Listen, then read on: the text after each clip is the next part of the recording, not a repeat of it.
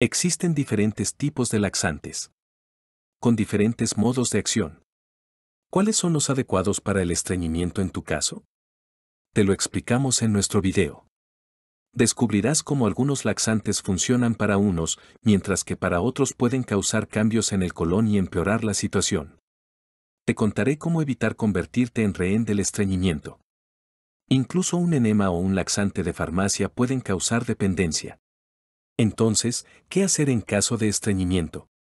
He investigado los detalles y te contaré sobre el proceso desde adentro. Aunque suene extraño, después de ver este video reconsiderarás tu enfoque para tratar el estreñimiento.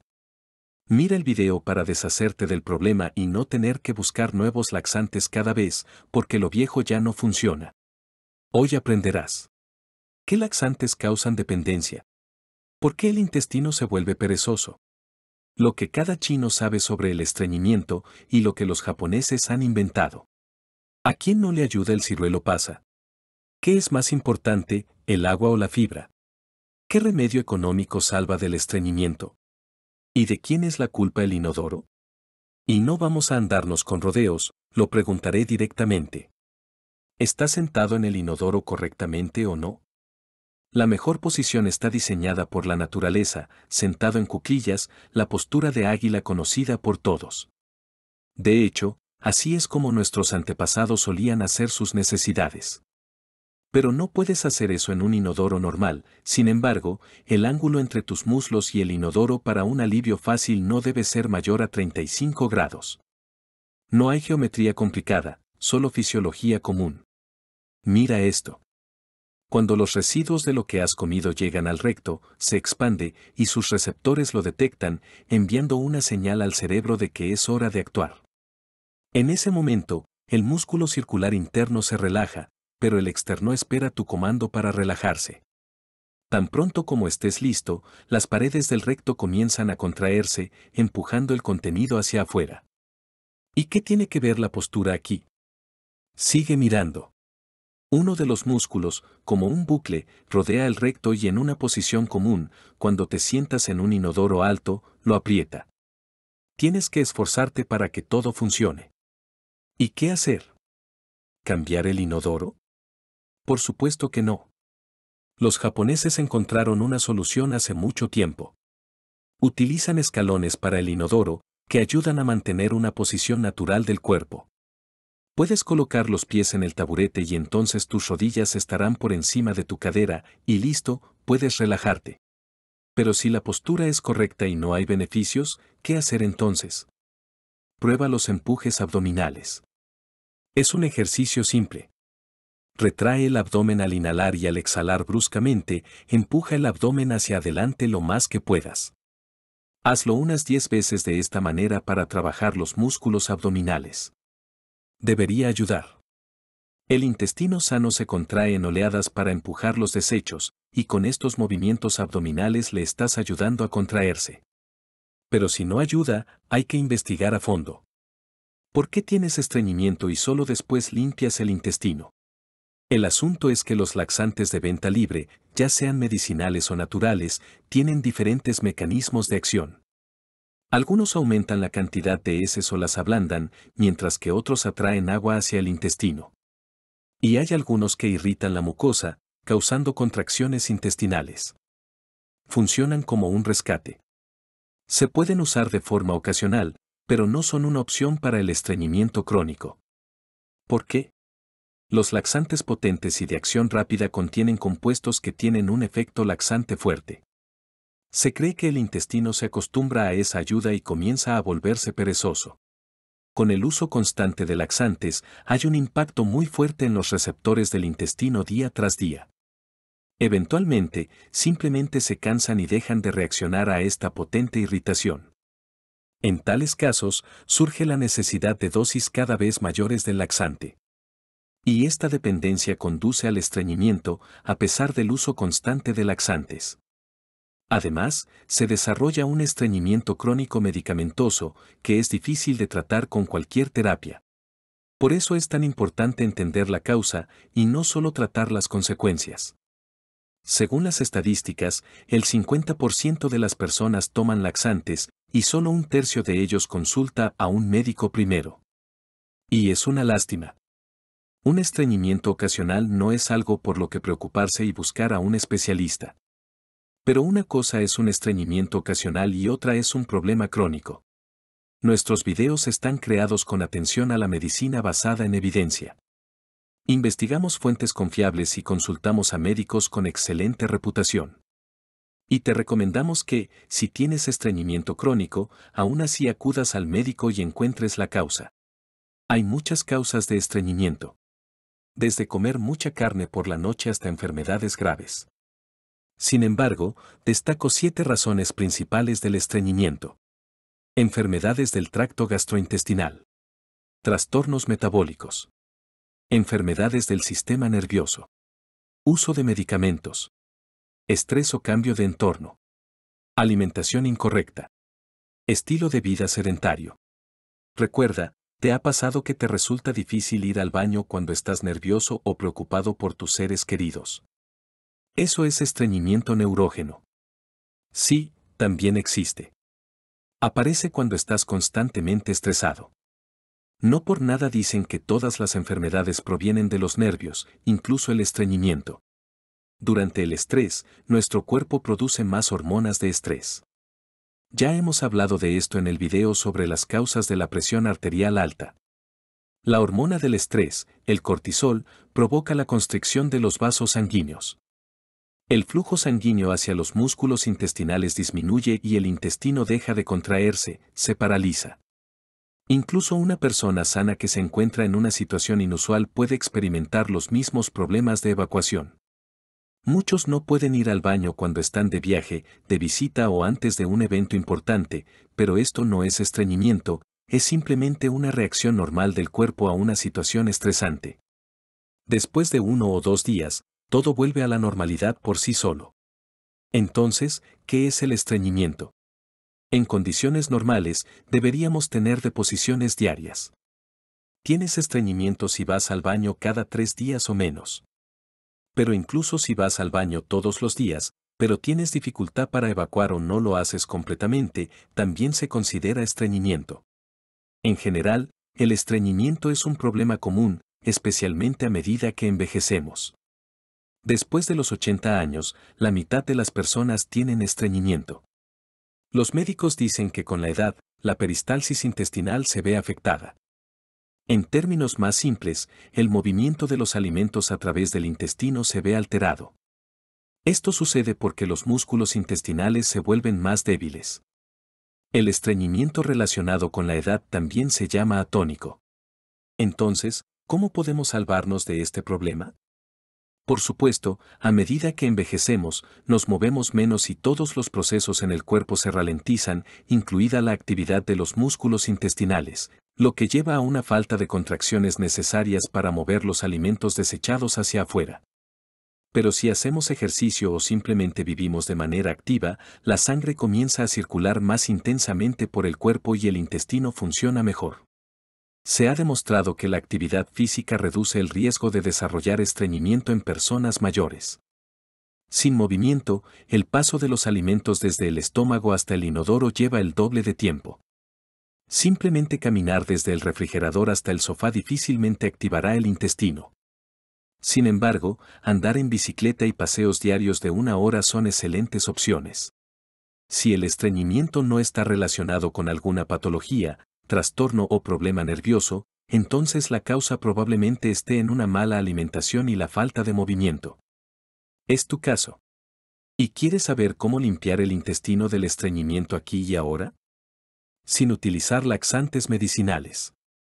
Hay un excelente remedio natural, las ciruelas pasas. Sí, ya saben de ellas, dirás. ¿Y también sabes por qué las ciruelas pasas causan laxante? ¿Y que no puedes consumirlas si estás tomando medicamentos anticoagulantes, también lo sabes?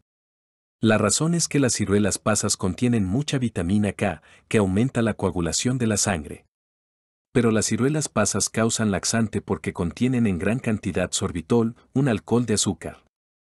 Debido al sorbitol, algunas personas experimentan hinchazón abdominal intensa y diarrea. Si tienes esta reacción, debes buscar otro alimento laxante. Hay opciones, y te las contaré. Pero primero terminemos con las causas del estreñimiento. Una de ellas es la falta de agua. Cuando hay estreñimiento, a menudo recomiendan beber más agua de lo habitual. Dicen que lo que está atascado se ablandará y el problema se resolverá.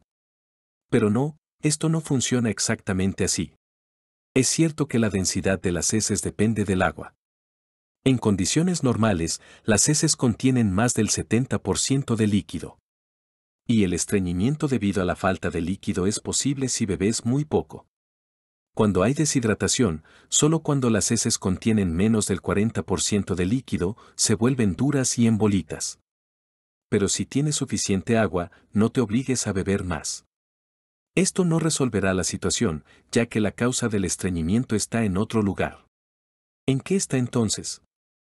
Más a menudo, en la falta de fibra. La fibra es un prebiótico, es decir, alimento para las bacterias beneficiosas en nuestro intestino. En el cuerpo, la fibra actúa como fertilizante para las flores en el jardín, alimenta a los microorganismos y se encuentra en verduras, frutas, cereales y semillas. Por ejemplo, los salvados que quedan después del procesamiento del trigo o el maíz son fibra. La fibra es valiosa porque en ella se reproducen los microbios necesarios para una evacuación intestinal normal. Por eso, los adultos deben consumir al menos 400 gramos de verduras cada día. ¿400 gramos? Eso no es mucho. Aproximadamente esa es la cantidad que pesan dos pepinos pequeños, dos tomates y medio pimiento justo para dos ensaladas. Por cierto, la fibra no se digiere, pero absorbe agua perfectamente. Cuando la fibra llega al intestino, atrae y retiene agua, como una esponja, lo que facilita la salida de los alimentos procesados hacia afuera. Si hay poca fibra, el agua no se retiene. Si hay poca agua, la fibra no tiene nada que retener. Así que tanto el agua como la fibra son importantes para una evacuación normal. Beber litros de agua y alimentarse incorrectamente durante el estreñimiento es inútil. Y ahora un punto importante, amigos. No todos saben esto. Hay fibra soluble y fibra insoluble. La fibra soluble no solo se hincha con agua, sino que también forma un gel. Nuestras bacterias intestinales se alimentan de esto. Por ejemplo, la avena y la cáscara de las semillas de plantago son precisamente fibra soluble. Hablaré sobre sus propiedades mágicas y cómo consumirla más tarde. Ahora, sobre la fibra insoluble. Pasa a través del intestino junto con los restos de comida y ayuda a la limpieza. Pero con esta hay que tener cuidado. Si consumes demasiada fibra insoluble, puede empeorar la situación. Explico por qué. El exceso de fibra puede provocar gases y ejercer presión adicional sobre el intestino aparece hinchazón y distensión abdominal. Es decir, al consumir fibra durante el estreñimiento, el malestar puede intensificarse y el estreñimiento no desaparecerá. La acumulación de gases puede obstaculizar el paso de las heces, como un tapón de aire en una tubería que impide el flujo de agua. Es como cuando los gases obstruyen el intestino, como un tapón de aire, impidiendo que las heces se muevan hacia afuera, lo que causa malestar y espasmos así que no conviene comer mucha fibra. Además, las investigaciones muestran que la fibra aumenta la limpieza de las heces y las hace más densas solo en personas sanas, mientras que en personas con peristalsis lenta, el consumo de fibra en grandes cantidades no tiene ese efecto. ¿Y sabes qué más? Resulta que es necesario consumir la fibra de la manera correcta. Es recomendable remojar el salvado en agua hirviendo durante 30 a 40 minutos para que se hinchen bien, luego escurrir el líquido y agregar el salvado bien hinchado al gelatina, yogur, sopa o comerlo con requesón. Los dietistas sugieren comenzar con una cucharadita de salvado dos o tres veces al día, observar la reacción del cuerpo y luego aumentar la dosis a dos cucharadas grandes dos o tres veces al día. Y, por supuesto, es importante entender que el contenido de fibra en el salvado puede variar, por lo que aquellos que contienen mucha fibra deben consumirse en cantidades más pequeñas y viceversa. El consumo de medicamentos o suplementos dietéticos también puede causar estreñimiento. Probablemente leas las instrucciones de los medicamentos, donde dice posible estreñimiento. ¿Qué se puede hacer? Este es un efecto secundario común de la mayoría de los medicamentos. Muchos medicamentos necesarios para la salud o incluso para la vida reducen la actividad intestinal. Tu estreñimiento puede ser causado por el uso de medicamentos. Por lo tanto, pídele al médico que encuentre un reemplazo para el medicamento y trabaja en la restauración de la microbiota. La microbiota. Así se llama la flora intestinal, es decir, todos los bacterias, virus, hongos y otros microorganismos que residen en el intestino. Y allí habitan 7.000 especies de bacterias, hongos y protozoos, y 1.200 especies de virus. En total, hay 40 billones de microbios en el intestino y un cuatrillón de virus. Por cierto, esto es más que las estrellas en una galaxia. Investigaciones recientes han demostrado que la microbiota intestinal afecta no solo nuestra salud física, sino también nuestra salud mental, incluido el estado de ánimo. Sí, sí, algunos tipos de bacterias en el intestino producen sustancias que afectan el estado de ánimo. Por ejemplo, la hormona de la felicidad, llamada serotonina, se produce en el tracto gastrointestinal. Resulta que el 90% de esta hormona es producida por los microbios intestinales. Increíble, ¿verdad? Nuestra felicidad depende de las bacterias. Y no solo eso. Los científicos han descubierto que las personas con depresión a menudo muestran una alteración en la composición de la flora intestinal. El cuerpo humano nunca deja de sorprender. Ahora tenemos a quien culpar por el mal humor. El intestino. Y si hablamos en serio, el estreñimiento no trae alegría a la vida. Hay que ayudar a los microorganismos en el intestino. Ahora te contaré cómo. Los alimentos fermentados están aquí para ayudarte. Precisamente los alimentos fermentados, un antiguo remedio popular que ayuda a limpiar el intestino. La fermentación, o simplemente la fermentación. Y los productos fermentados son todo lo que fermenta, se agria o se remoja. Como resultado, obtenemos un producto único en sabor que contiene microorganismos vivos, probióticos. Esos son los que necesitamos. Pero no los confundas con los prebióticos. Es diferente. Los prebióticos son alimentos para los microorganismos intestinales, recordemos la fibra. Y los probióticos son los microorganismos dentro del intestino. Pero volvamos a la fermentación. Se conoce desde hace mucho tiempo los beneficios de estos productos. Los alimentos fermentados cambian la composición de los billones de bacterias, virus y hongos que viven en nuestro intestino. Los científicos han demostrado los beneficios de los alimentos fermentados, y los coreanos, incluso sin pruebas, saben que consumir col fermentada todos los días, conocida como kimchi, ayuda a regular el intestino. El kimchi picante se prepara con colchina y es tan popular en Corea que se consume a diario. Esta comida baja en calorías contiene mucha fibra y vitaminas y ayuda a limpiar el intestino de residuos acumulados. El kimchi incluso ha sido incluido en la lista de los alimentos más saludables del mundo. En Rusia, prefieren otro producto fermentado, la col fermentada. La col es rica en vitamina C y en vitaminas del grupo B, necesarias para el sistema nervioso. Un detalle importante, para el estreñimiento, es la col fermentada la que ayuda, no la marinada. La col fermentada se fermenta en su propio jugo en un ambiente cálido, mientras que la marinada no pasa por el proceso de fermentación, por lo que las bacterias beneficiosas no se desarrollan en ella. Si nunca has fermentado col, este es el momento perfecto para empezar. Además, no es nada complicado. Cualquiera puede hacerlo. Para fermentar, necesitarás col blanca tardía. Por cada dos cabezas de col de tamaño mediano, necesitarás una zanahoria, dos cucharadas de sal y una cucharadita de azúcar. Luego, corta la col en tiras finas, raya la zanahoria, mezcla todo bien y amasa manualmente junto con la sal y el azúcar. Deja reposar en un lugar cálido durante tres días para fermentar. Y si tienes una receta favorita de col fermentada, compártela en los comentarios. Y yo compartiré contigo formas de aliviar el estreñimiento que utilizan diferentes pueblos. Por ejemplo, en la India, practican ejercicios respiratorios para estimular el intestino y realizan suaves movimientos circulares de masaje en el abdomen en el sentido de las agujas del reloj. Estos movimientos suaves y rítmicos estimulan la digestión y despiertan el intestino. En China, la técnica de masaje es un poco diferente, pero el concepto es el mismo, suaves movimientos circulares en el sentido de las agujas del reloj. Y todo chino sabe que la col marina es excelente para el estreñimiento. Sí, los chinos tienen su propia col, la laminaria.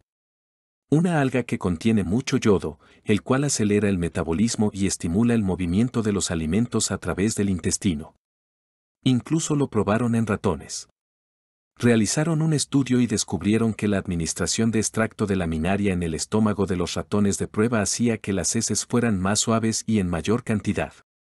Pero los médicos advierten que un exceso de yodo puede provocar enfermedades de la tiroides. Si se han detectado nódulos en la glándula tiroides mediante ecografía, el consumo frecuente de laminaria no es seguro.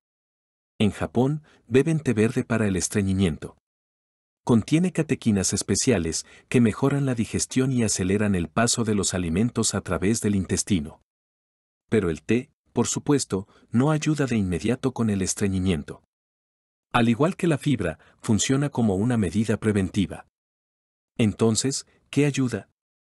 ¿Qué se debe hacer para que todo salga bien de inmediato? Los remedios de emergencia son los microenemas con aceite vegetal y semillas de lino. Una cucharadita de semillas de lino se vierte en medio vaso de agua hirviendo y se deja reposar durante media hora. Luego se cuela y se añaden 10 mililitros de aceite de girasol refinado a la infusión.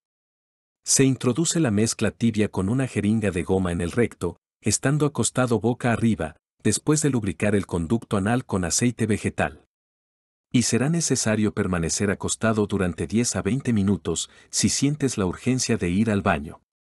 Si no, puedes preparar una decocción de raíces o hierbas de malvavisco.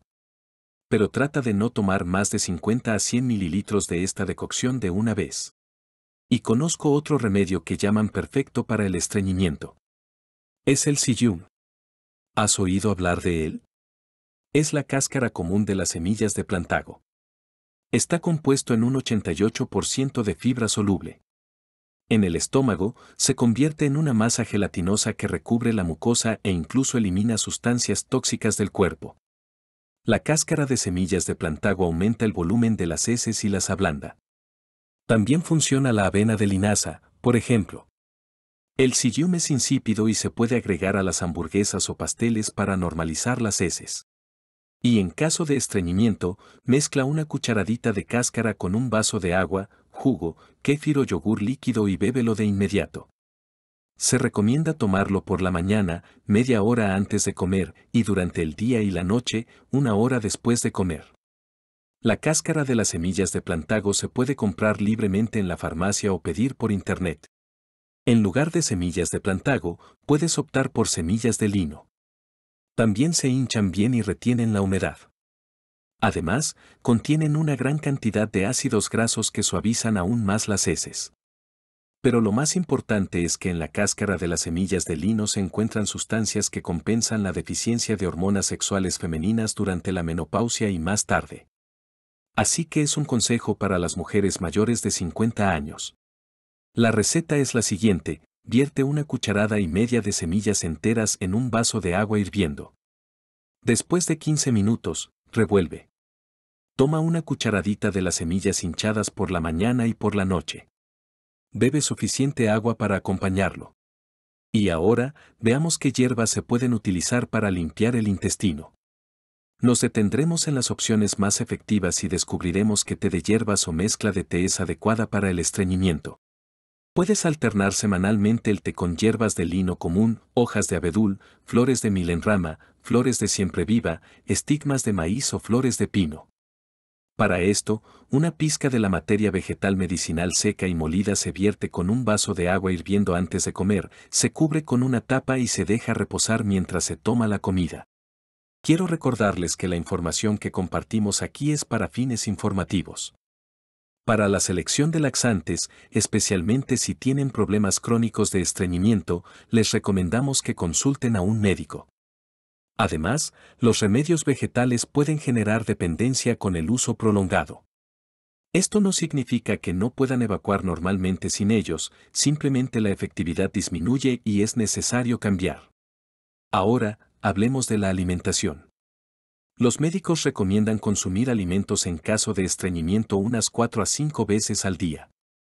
Incluyan en su dieta jugos de frutas y verduras, higos, dátiles, ciruelas pasas, plátanos y manzanas no ácidas. Todo esto actúa como un laxante natural. Explicaré esto con un ejemplo del higo, que es muy querido por muchos. Recuerden que mencioné que la fibra puede ser soluble e insoluble. El higo contiene ambos tipos. Cuando la fibra del higo entra al organismo, absorbe y retiene agua y además se hincha. Debido a esta fibra hinchada, el volumen de las heces aumenta, lo cual es una señal para el cuerpo de que es hora de liberar espacio. Lo mismo ocurre con los dátiles y otras frutas laxantes. Además, contienen ácidos de frutas que estimulan el funcionamiento del intestino. Por otro lado, la masa para pasteles, los cereales de arroz, las papas y las carnes grasas, por el contrario, ralentizan el proceso. No olviden que algunos frutas y verduras están contraindicados en caso de intolerancia individual. Y en caso de enfermedades crónicas del tracto gastrointestinal, se debe tener especial cuidado y consultar a un especialista. Un momento más. La supresión del impulso para defecar conduce al estreñimiento. No deben aguantar. Literalmente, el cuerpo les escucha. Si lo aguantan una, dos, tres veces, pronto estarán yendo al baño solo una vez a la semana. ¿Y qué esperaban? Nuestro cuerpo se adapta rápidamente a las condiciones, y si le prohíben deshacerse de los desechos cuando es necesario, puede esperar. Pero eso no es nada bueno. Los especialistas advierten sobre la obstrucción intestinal y es cierto que el estreñimiento prolongado, si no se trata, puede llevar a eso. Pero estos son casos extremos. Estoy seguro de que tomarán medidas a tiempo y consultarán a un médico. El estreñimiento es un problema ocasional que afecta a todos. Si se convierte en algo permanente, en gran medida depende de ustedes. Enséñenle a su cuerpo a ir al baño a la misma hora todos los días, idealmente por la mañana. Se despiertan, toman agua, adoptan la posición adecuada y liberan el intestino. Traten de no estresarse demasiado, consuman fibra, pero de manera adecuada y en moderación. Y muévanse para ayudar al intestino a eliminar los desechos procesados. Denle me gusta y suscríbanse a nuestro canal. Y los nuevos episodios les ayudarán a mantener su salud.